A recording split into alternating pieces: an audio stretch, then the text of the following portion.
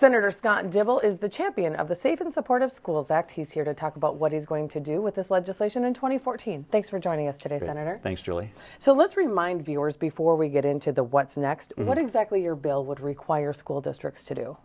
Um, well, the bill itself is uh, fairly simple in its conception and its construction. Um, the, probably the most important thing is that schools uh, would be required to adopt um, effective, comprehensive anti-bullying policies and communicate those clearly uh, to the students, uh, to teachers, uh, to school administration, and of course to the community and, and to parents. And um, um, it would make sure that uh, procedures and processes were in place to respond in a timely fashion uh, to reports of bullying. Make it clear what, what bullying is. Uh, make, it, make sure that all kids are protected within those policies, particularly those kids who receive a disproportionate amount of bullying on the basis of prejudice and the like. Um, and, uh, and then it would make available to schools um, training uh, so that schools could really engage in best practices, so that the adults who are responsible for making sure that bullying is responded to um, can respond effectively.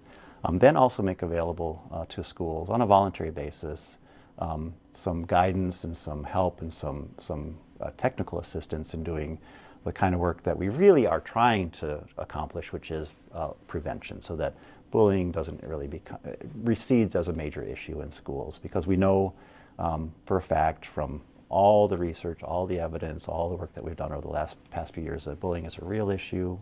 It has real consequence in kids' lives. It's very harmful. Not just the kids who are the targets of bullying, but all kids who, who are a part of a climate in which bullying is allowed to occur. And something can be done about it. We can prevent bullying. And even opponents of your legislation concur with the thought that Minnesota has one of the weakest anti-bullying Mm-hmm. pieces of legislation currently. So the different the, the levels of support really vary. And even the executive director of the Minnesota School Board Association said members of his group would support efforts to prevent bullying, but simply they, quote, want a better bill. What to these to these people who aren't completely on board, what constitutes a better bill?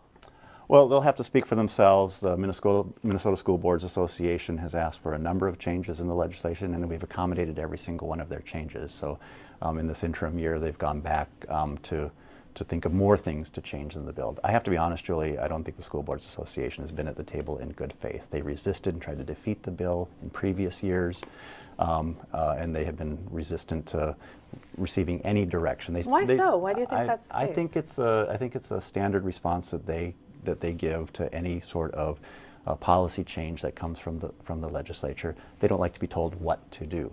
The thing to pay attention to in the bill, though, is we provide for a tremendous amount of local initiative and local control. We don't mandate um, forms of discipline. We don't mandate uh, any sort of staffing ratios. We don't, mandate the, the expenditure of a lot of money. Schools are already spending a lot of money, and they probably will end up spending a lot less money um, if they do this anti-bullying work and this bullying response work effectively. Um, but it's, it's uh, if, if you ask anyone who's on the education committee, anyone who works in education issues, School Boards Association resists any initiatives that come out of the legislature just as a knee-jerk matter of course reaction. And you're using the word mandate. It's something that the opponents use quite heavily as well. And you've stated in committee that this is not a mandate. It's encouraging schools to develop a program and curriculum that addresses the overachieving issue of climate so bullying can be addressed. Right. So, but isn't this essentially an unfunded mandate to the tune of $39 million? That's what the opponents cite. Right, right. That's false, uh, utterly false. You know, there was a very, very uh, uh, poorly constructed what they call local impact note that they went back and revised significantly and brought down the estimated cost significantly. But keep in mind, we provided uh, significant revenue for schools to address this issue. Um, some of that revenue will be just kind of a one-time effort of establishing these policies and communicating them effectively to the whole school community, one-time expenditure. And we provided an you know, additional 450 million bucks to schools um, uh, this last year. Plus, we provided the opportunity for local levies to be used for uh, uh, school safety and school security matters. Um, so there is no unfunded mandate. There's already money being spent in this arena as well. A lot of it's going to be one time, and all, over time, costs are going to come down quite significantly. School students are going to be achieving uh, much better academically. Schools are going to be safer. There's going to be far less exposure to legal liability for failure to protect kids.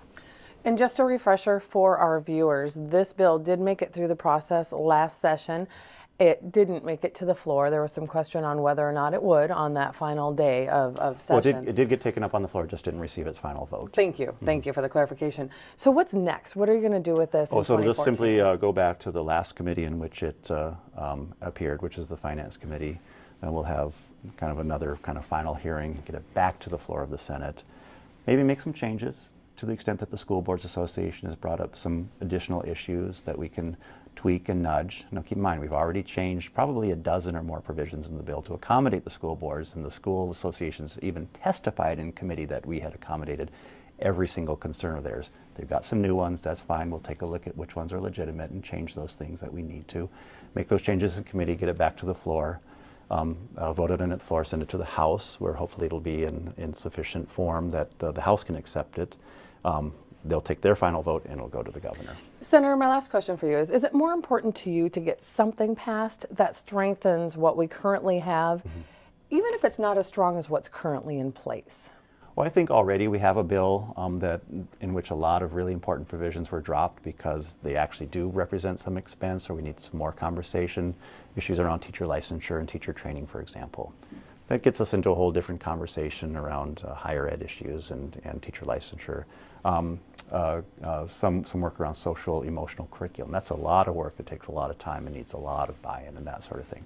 Um, so we, you know, there, there are a number of recommendations that came out of the governor's task force on the prevention of bullying that we just didn't pursue. So um, we have a bill I think that represents a really, really good compromise, provides for local control um, and and and and uh, prevention ultimately, which is what we're after. Okay, Senator Scott Dibble, as always, thank you for your time. We Great. appreciate it. Thank you so much, Julie.